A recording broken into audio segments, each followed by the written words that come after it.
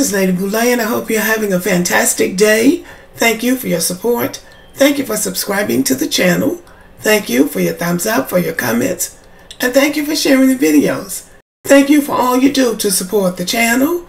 And yes, we are commanded to love one another, whether we want to or not, or whether we agree with each other or not.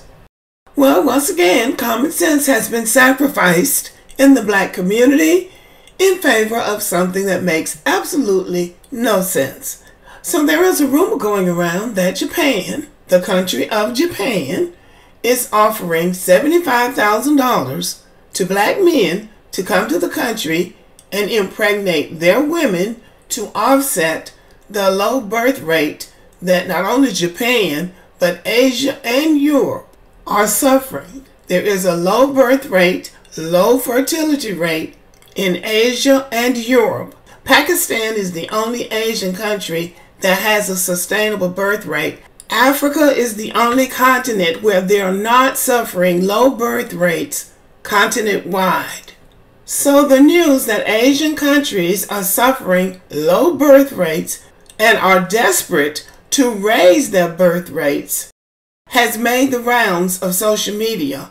Now, I don't know how black men got inserted into this, but this is what I have discovered. Here is a headline from Business Insider why people in Japan are being paid to have babies. You notice the headline says why people in Japan are being paid to have babies. So, from the people inside Japan being paid to have more babies, that got social medialized and black men got brought into the mix.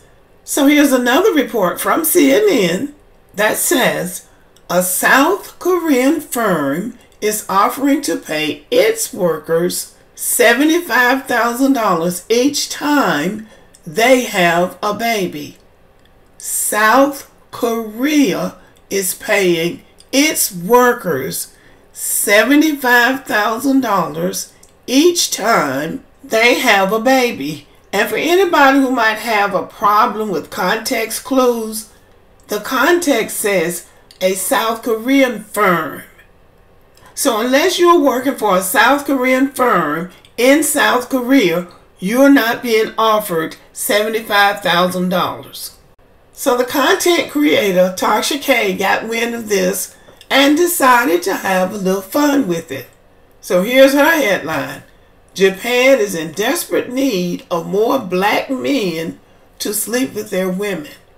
So you can imagine the kind of fun she had with it. I will put the link to her video in the comment section. But she had a real ball with it, and there were people commenting saying, oh, yes, they really want black men because they want to be taller and stronger. Well, that's not what the headlines are saying, and that's not anything that I was able to confirm. I looked for it because I'm like, really? My husband's the kind of person that's like, no, that ain't gonna wash. I don't even see that happening.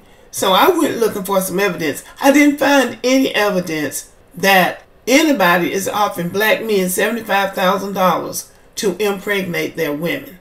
This sounds like something that came from some of these guys that sit up on these live streams for four and five hours just talking and talking all out and random and just making up stuff as they go along because they don't have anything of substance prepared to talk about to to their audience. Once they finish talking about sports, and black women and how awful black women are and how black men ought to try to get out of paying child support, they don't have anything else to talk about. So they're just making up stuff. So I want to make two points before I end this video. Number one, white supremacy is a worldwide system. All of these countries, European and Asian countries, participate in white supremacy. And all white supremacy is, is that white is supreme. So in the Asian countries, they elevate whiteness. And obviously, the European and America, whiteness rules.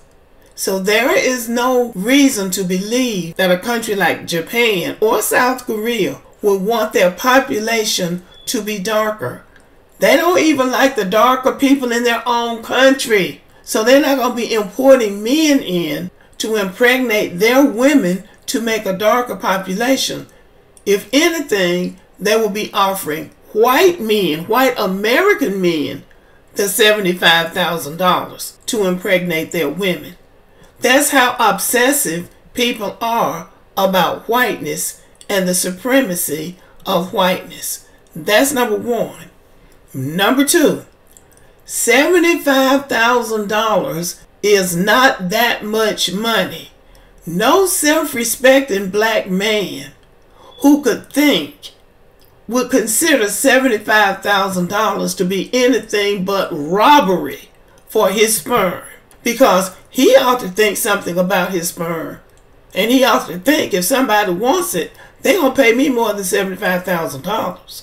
Matter of fact, if somebody wants the black man's sperm, the black man should set the price. So no self-respecting black man would even consider moving to the other side of town for $75,000, let alone picking up going to a foreign country where you don't even speak the language, you don't even understand the culture, and you don't even know how much it's going to cost you to live there, even if you're just going there for six months or however long it would take you to impregnate however many women they wanted you to impregnate because they're not going to ship you over there just to impregnate one woman. So, I mean, thinking is a real skill and self respect is a virtue. So, before people jump on these kind of idiotic schemes and scams like this, you need to think. Even if you would be willing to sell out for $75,000, because the only person who would jump on something like that would be somebody that's homeless. And Tasha K said they were wanting immigrants anyway. So you just have to hear what she had to say to really appreciate it.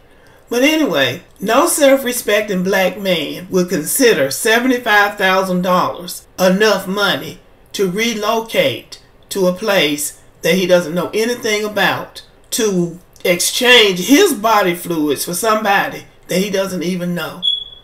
I mean, people need to stop falling for foolishness. Now, that's just how I see it. But let me know what you think about it. Thank you for listening. Subscribe to the channel. Give me a thumbs up, leave a comment, share the video. And as always, have a great day.